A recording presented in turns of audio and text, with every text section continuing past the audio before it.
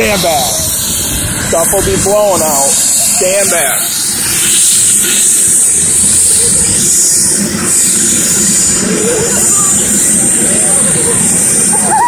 Windy already. He's only here like 15 minutes and somebody crashed a motorcycle in Brighton and they gotta go take off for an emergency.